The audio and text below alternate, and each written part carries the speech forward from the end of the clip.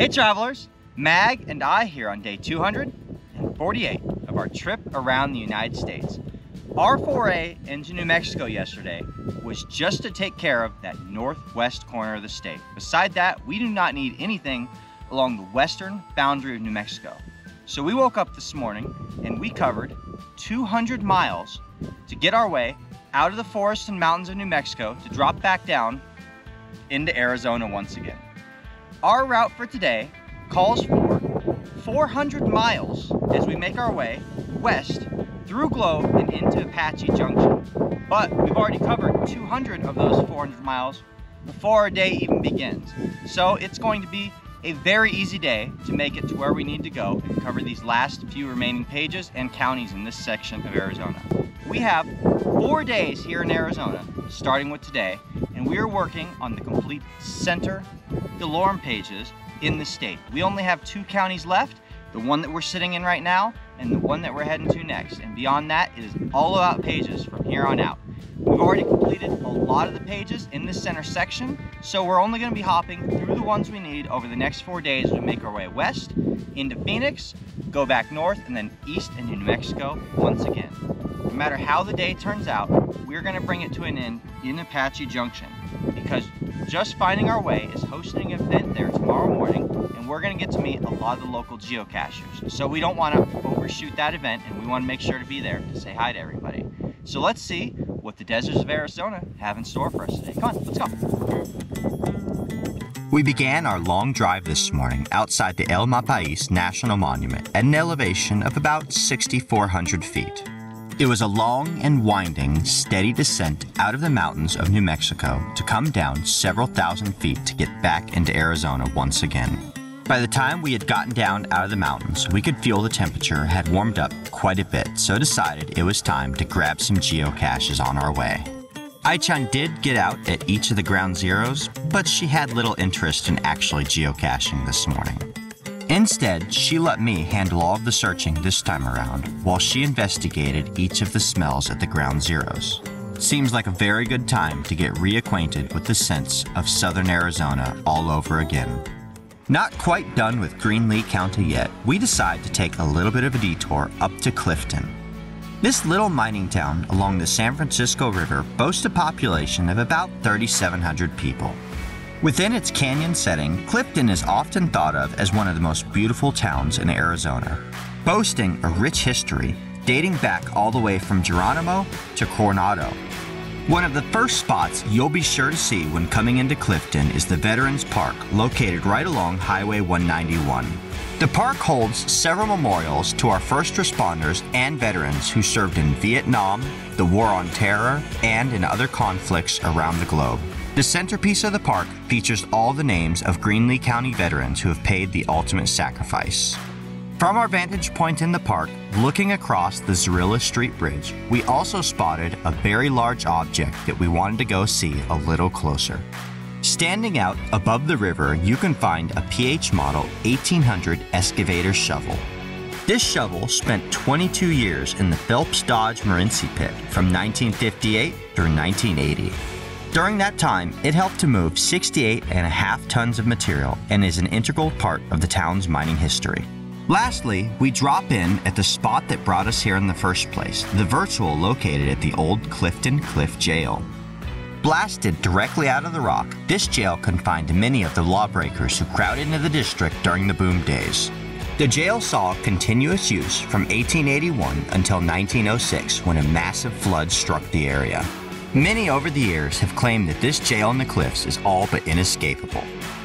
How cool is this to be in a jail cell that's carved right into the cliff like this?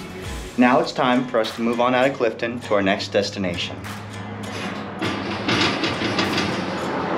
Well, once I figure out how to get out of here.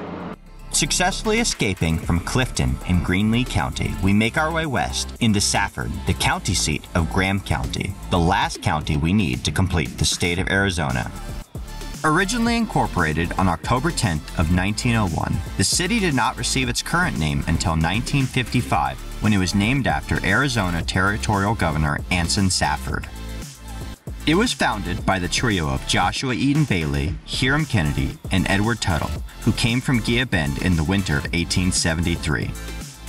They had a vision and immediately set out in laying out a town site to include a few crude buildings to kick things off.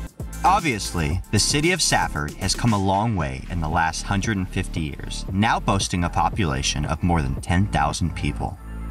This has become an agricultural hub in the area, drawing from the Gila River to create 40,000 acres of irrigated agriculture, primarily cotton, but also hay and small grains too. It sure is a good thing we've been maintaining a lead since we entered Utah from Las Vegas, because the last of it, which we had to get rid of by the end of the day today anyway, is going to be eaten up right now on the DeLorme page 54. I had identified on my target list every single option that was in this page and highlighted the ones that were easily accessible from the road. They've all been archived. So now there's only two options left in the page and neither one of them is easy. Both of them require some 4x4 style driving and hiking. It's just choosing the lesser of the two evils, I guess. I chose to go after the one in the Box Canyon. It's about a three mile hike straight up the wash. We hit a spot about a little more than a mile in. that I didn't feel comfortable taking the Geomobile anymore for the distance it's gonna get us. So we cut quite a bit off, but Ai-chan and I still have about a two mile hike in and about a two mile hike out for this one option we're going after on the page. Fingers crossed, because here we go. DeLorme Page 54 begins in Eden along Highway 70, stretching all the way up to Cutter and covering a large swath of land in the San Carlos Reservation. When we originally put this plan together, there were two convenient options in Eden, two convenient options in Fort Thomas, and two really long hiking and off-road options located outside of Fort Thomas along the Box Canyon Range. While it was unfortunate that all of the geocaches in Eden and Fort Thomas had been archived, we were just glad that there was still one at the end of this Box Canyon we could hike to. If there's one thing that I'm sure of, my geomobile was not going to clear this part of the road. This was as far as we were going to get one way or the other. Still a mile and a half out. One thing that I certainly had not expected to see on our trip through the desert today was the proliferation of the Mexican gold poppy that was growing everywhere along the trail. This beautiful golden flower usually grows on rocky hillsides or slopes during the month of March. These flowers do not bloom like this every year, but when they do, they really put on quite the show. It forms as a small yellow cup made of four petals, and if you want to see the cup open, you have to look for these beautiful flowers during midday because that's the only time that they open up to receive direct sunlight. Time for a water break.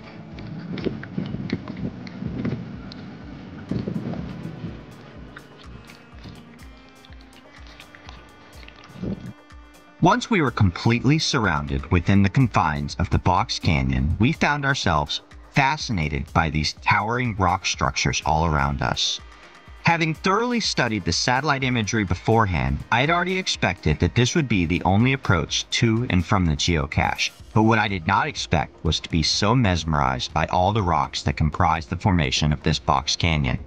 This hole in the side of the rock looked like nothing more than the entrance to a villain's lair to me. Just to be sure, Ai-chan and I checked all around the rock structure, looking for any hidden levers that might open the door.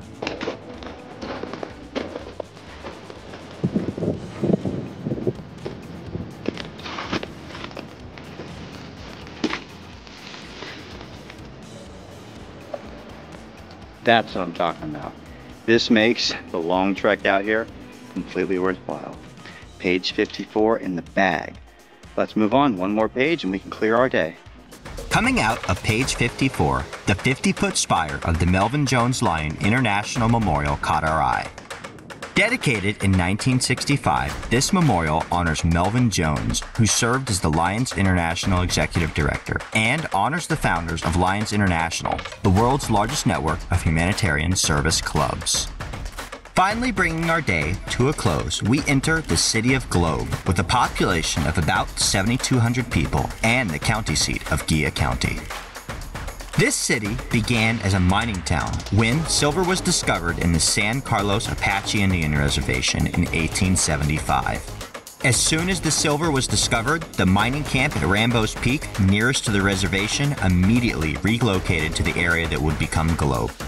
Things began to move quickly from there, with plans for an incorporated globe established by July of next year, with stores, banks, and the first newspaper all included in the layout. Within a mere six years, Globe had become the county seat of Gila County, which it still remains to this day. All right, and it looks like that is going to do it for our first of four days back here in Arizona, completing the DeLorme Challenge. We only had two counties and three pages to work through as we made our way into the state today. We finished off the last of the two counties we needed to finish Arizona completely, and two of the three pages, this one included, turned out to be pretty easy. 54, however, did not. I'd been watching those options get archived over the last few months, and when the last one that was still an easy option in the area got archived a couple weeks ago, I knew I was gonna be in for it today. It is what it is, and we made the best of it. Drove our way a pretty good way up the wash, and then Ai-chan and I got a great workout hiking our way all the way up there to go find that geocache.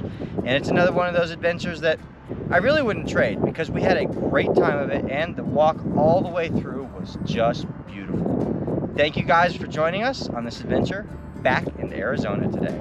Like this video, subscribe to stay tuned for daily updates, and we'll see you out on the trails.